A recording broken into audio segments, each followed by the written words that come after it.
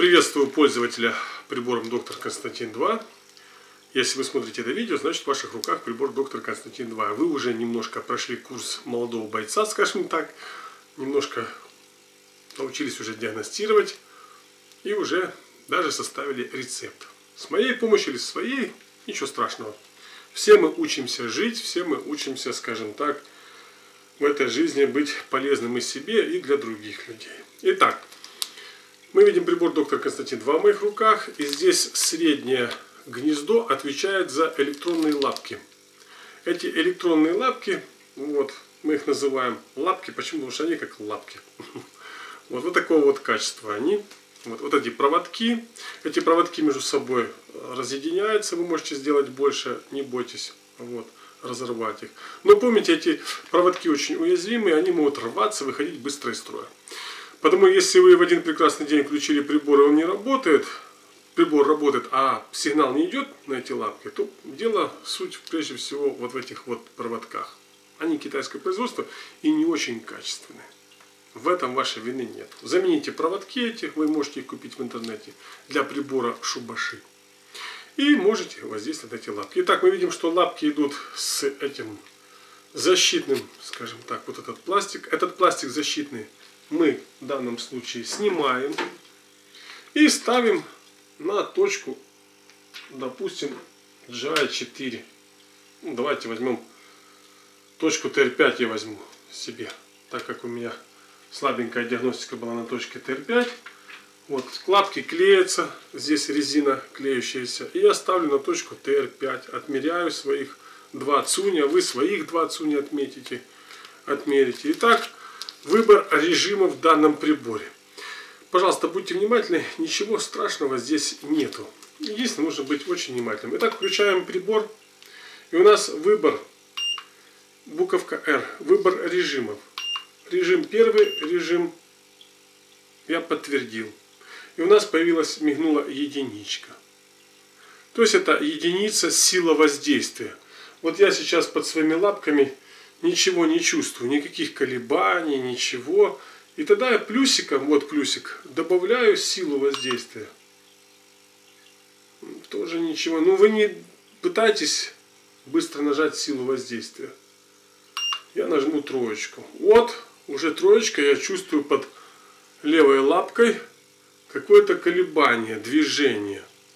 Помните, силу вы должны выбирать сами для себя. Она не должна быть агрессивной.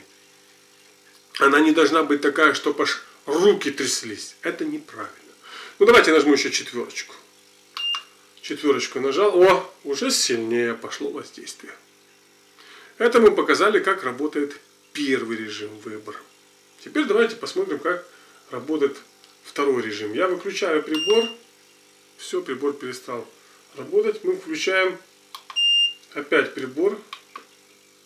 Выбор режима. И теперь выбор с режима смотрим. Неправильно. Включаем прибор еще раз. Режим первый. Вот. Режим третий. Режим второй. Режим первый. Минусом мы выбираем режим первый, третий, второй и первый. Вот мне нужен режим номер три. Я подтверждаю Здесь Т это 10 минут. Таймер 10 минут. Таймер 10 минут у меня 10 минут, таймер 20 минут и таймер 30 минут. Я выбираю третий режим 30 минут, нажимаю ОК. И опять пошла сила воздействия, единичка. Вот я уже на единичку чувствую, как идут удары. Точно самое вы выбираете и так и второй режим, и третий.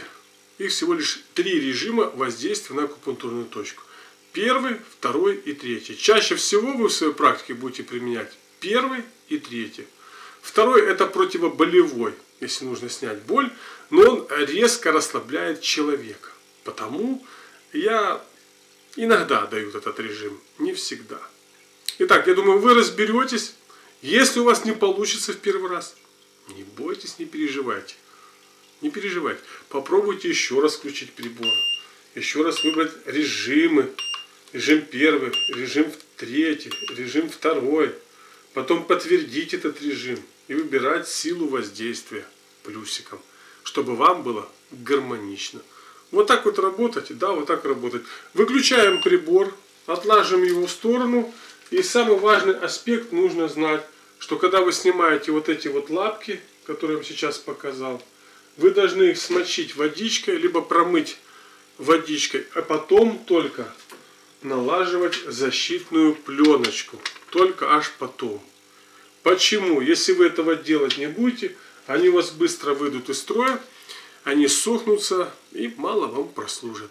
Эти лапки рассчитаны на 200-500 прикладываний. Смотря как вы будете к ним относиться, к данному прибору, к данной методике, так они вам и прослужат. Помните, их нужно держать лучше не в сухом месте, а в таком, в сыром, закрытом пространстве, чтобы они не высохли. Вот так вот просто работать с данным прибором. Вот так просто работать. Итак, с диагностикой мы познакомились. С воздействием на выбор режиме мы с вами познакомились. Вот. И сейчас мы познакомимся в следующем видео, в следующем видео, как работать с инфракрасным излучением. Спасибо за внимание.